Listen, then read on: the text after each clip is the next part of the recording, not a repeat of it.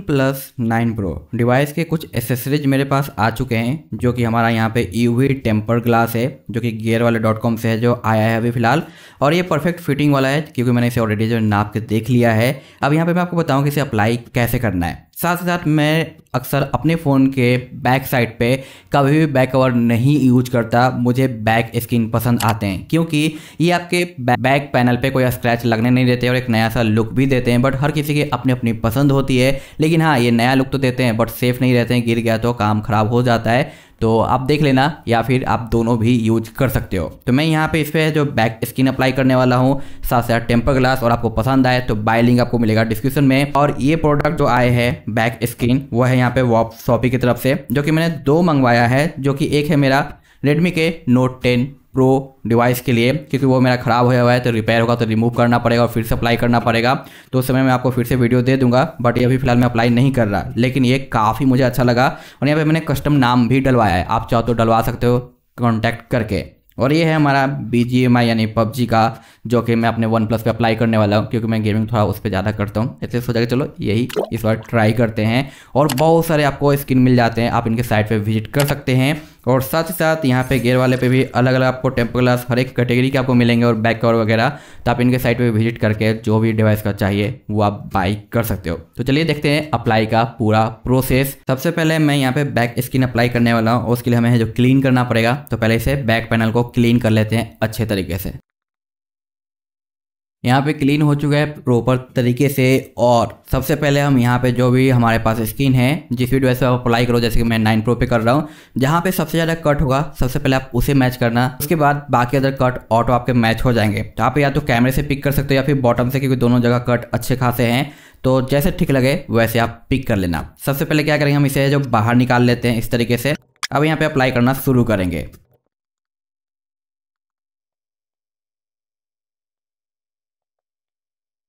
इस तरीके से ये हो गया यहाँ पे अप्लाई जो कि सिर्फ़ सिर्फ़ बैक पैनल पे हुआ है। अब हमें जो यहाँ पे कट को मैच करना है। कुछ इस तरीके से आपको यहाँ पे मैचिंग करनी है अच्छे तरीके से।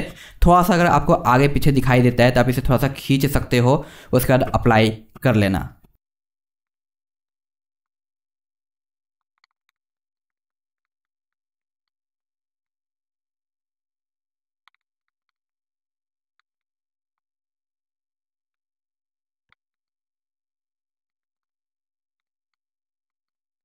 तो यहाँ पे ये अप्लाई हो चुका है प्रॉपर बट अभी ये देख सकते हो ये सारे बाहर आ रहे हैं. तो यहाँ पे आपको ज़रूरत है हेयर ड्रॉयर की या हॉट गन की, जो कि हल्का फुल्का यहाँ पे आपको देना पड़ेगा. मेरे पास ये दोनों नहीं है तो मैं थोड़ा घरेलू जुगाड़ वगैरह करता हूँ और इसे फिट करके आपको दिखाता हूँ कि कैसा लुक है जो यहाँ पर हमें दिखाई देता है. और आप चाहो तो कैमरे का हैसल ब्लैट नहीं छिपाना चाहते तो इसे मत लगाओ, लेकिन मैंने सब कुछ प्रॉपर लगाया है. तो यहाँ पे आप देख सकते हो कम्प्लीटली अप्लाई हो चुका है। हर एक कट यहाँ पे बिल्कुल ही प्रॉपर एंड परफेक्ट तरीके से जो फिट हुआ है, जहाँ पे मुझे ये बिल्कुल ही सही लगा फिटिंग के मामले में।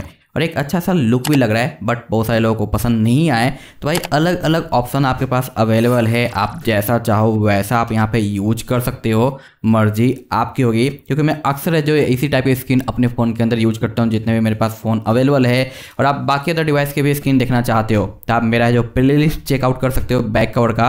वहाँ पर आपको बहुत सारे अलग अलग स्क्रीन आपको देखने को मिलेंगे। अब बारी आती है हमारे स्क्रीन की, कि उस पर कैसे अप्लाई करना है यूवी ठीक है? मैंने यहाँ पे अभी टेम्पर ग्लास के जगह नहीं मिला था तो अप्लाई कर रखा था एक नॉर्मल सा मार्केट से लेके लोकल सा स्किन जो कि भाई बहुत जल्दी स्क्रैच आ जाता है और साथ ही साथ ये है भाई, हमारे हाथ पे बहुत अलग सा जो फील देता है और टच की फीलिंग बिल्कुल ही बेकार हो जाती है। बट फाइनली यहाँ पर आ चुका है तो अब उसे अप्लाई करने वाले हैं। तो इसे मैं यहाँ से बाहर निकाल लेता हूँ। देख सकते हो, बिल्कुल ही क्लीन आपको देखने को मिल रहा है बट फिर भी यहाँ पे रैपर दिए गए हैं। तो हम रैपर का यूज़ करते हुए जो यहाँ पे क्या करेंगे डिस्प्ले को एक बार क्लीन कर लेंगे, ताकि कोई भी डस्ट ना रहे।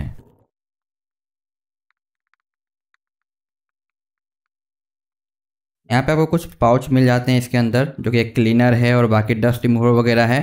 तो इसी इसका यूज़ करते हुए क्लीन करना है। यहाँ पे क्लीन हो चुका है और क्लीन होने के बाद कई बार डस्ट है जो आके डिस्प्ले पे बैठ जाते हैं। तो ये जो स्टिकर यहाँ पे दिया गया ना, इसका यूज़ करके जहाँ पे आपको डस्ट दिखाई देता है, कुछ इस तरीके से आपको प्रेस करना है और फिर उठा लेना है, जिससे आपका डस्ट रिमूव हो जाएगा और फिंगर के कोई भी निशान आपके जो डिस्प्ले पर नहीं आएँगे।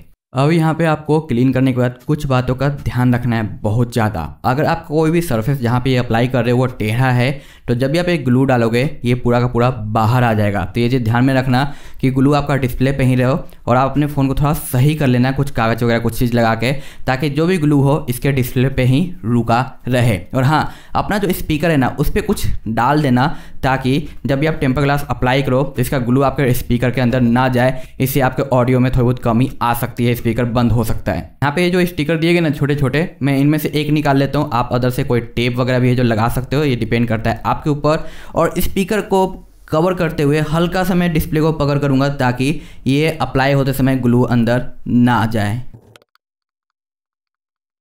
यहाँ पे मैंने इसे अप्लाई कर दिया, सिर्फ़ और सिर्फ़ इसने स्पीकर को पकड़ा है और कुछ भी नहीं है। अब यहाँ पे हम ग्लू को डालेंगे। फ़ोन को हल्का होल्ड रखना है। ताकि आप खुद से एडजस्ट कर सको मैनुअल कि ग्लू कहीं गिर तो नहीं रह रहा है। तो यहाँ पे हमारा सारा है जो ग्लू आ चुका है इसके ऊपर। ओके अब यहाँ पे आपको हल्के से फ़ोन को छोड़ना है और देखना है कि कहीं साइड में तो नहीं जा रहा। अगर नहीं जा रहा है तो ठीक है अदरवाइज़ आप कागज़ वगैरह नीचे लगा दो ताकि सारा ग्लू आपका डिस्प्ले पे रहे। अब यहाँ पे इसका है जो लेयर नीचे का रिमूव करेंगे और इसे अच्छे से अप्लाई करेंगे सब कुछ मिक्स करके।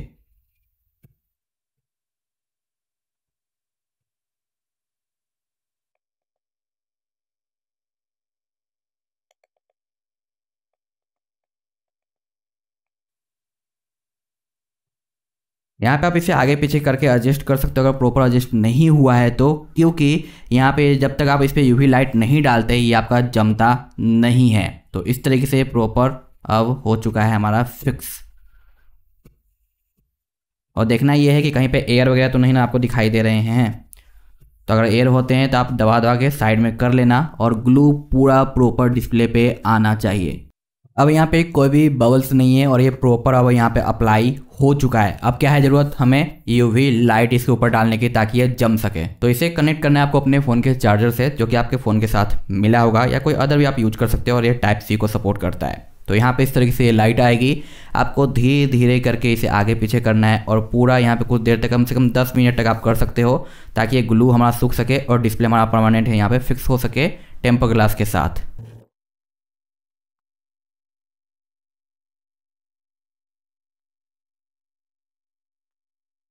तो यहाँ पे भाई सब कुछ फाइनली अप्लाई हो चुका है अच्छे तरीके से परफेक्ट तरीके से और यहाँ पे हमारा जो फिंगरप्रिंट है, वो आपका है जो प्रॉपर काम कर रहा है। यहाँ पे आपको जो कोई भी दिक्कत नहीं आती और अभी फ़िलहाल मैं यहाँ पे कस्टमर यूज़ कर रहा हूँ क्योंकि अक्सर मैं कस्टमरों के वीडियो देता रहता हूँ। तो अगर आपको चाहिए तो आप चेकआउट कर लेना प्ले लिस्ट वगैरह।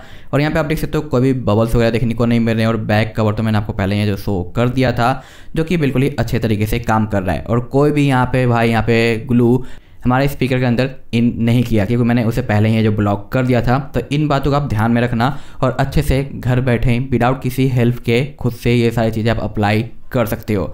वीडियो अच्छा लगा तो लाइक कर देना और हाँ एसेसरीज चाहिए तो लिंक मिलेगा डिस्क्रिप्शन में। आप वहाँ से ब्राउज करके जो भी पसंद आता है वो बाई कर सकते हो या फिर आप लोकल शॉप से बाई कर सकते हो। मर्ज़ी आपकी आप बिल्कुल ही फ्री हो, कहीं से भी लो, आपकी मर्ज़ी होगी। ठीक है थैंक्स फॉर वॉचिंग बाय